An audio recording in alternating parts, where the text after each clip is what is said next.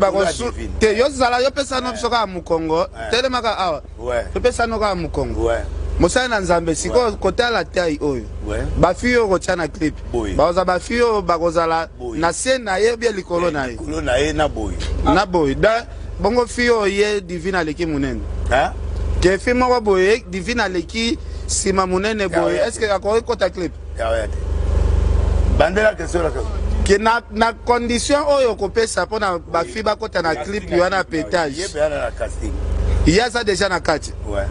ah. mais pourquoi baoyo mpe bafi oyo nzambe asala moke baa na droit akota clip te parce que tomoni ester wana aza deja makambo ya clip mm. ezali miso na biso bato okay. Eh, na ozwa basere ya boye mm. ta mosusu bakolata boye na tie bango costume avec bapasalo ya tissu oyo eza na tai mm. eh, na tai balati siko chemise mm. mais kotala kotala ndenge ye aza boye apesa bato mosusu baswafi place baza okende otya bango na clip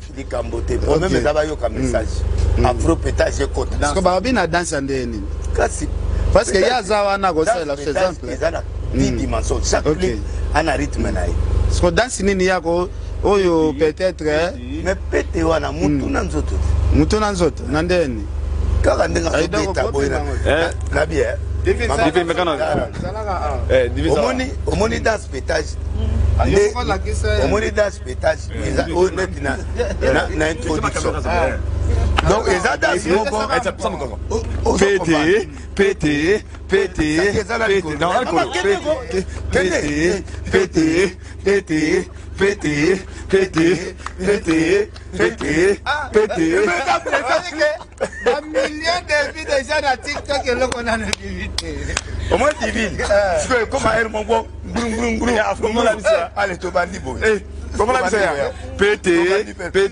tobandi mpenza te petiti kita kita ti na se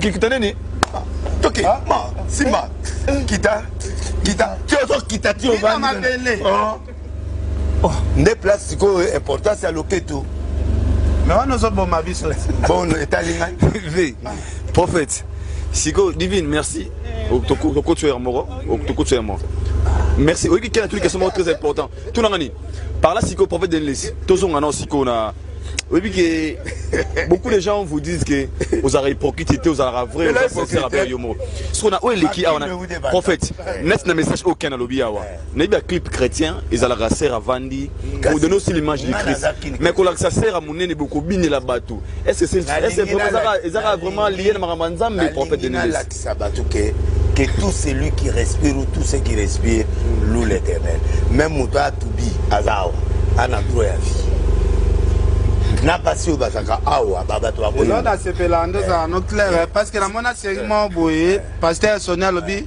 mipenda sœur Marie Misamu ezalaka kitoko makasi Non. mais fallait azala clair na makambo oyo ezali na sœur Tala, motema omoni omoni bamiss baza mpo na miss Eh.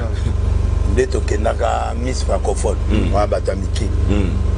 siko awa ya miss te awa ya petage Mm. petage eza message Eh. koka kobina moto to akobina hmm. basi ya minene bato yokanisi biloko tu bato ya baprofane bazwi wana eza mabe pourkui baprofane batiaki basi wana hmm. mpo na koattire voilà ye mpo ningo attire nazo attire gloire ya nzambe oyo nkembo ya nzambe tolongola complexe na bandimi hmm. pourquoi il y a des crimes à l'église hmm. parce que bato bamesana te hmm. nazwa bana na nga na na mbongo mpenza israel te mm.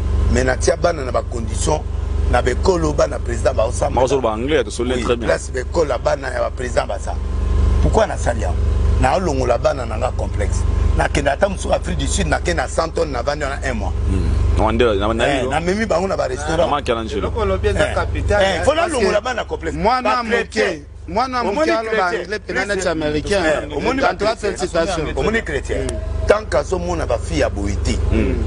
mokolo akuta na ye mm. soki aza moto ya banzoto ya bie te akosala ejaculation précoce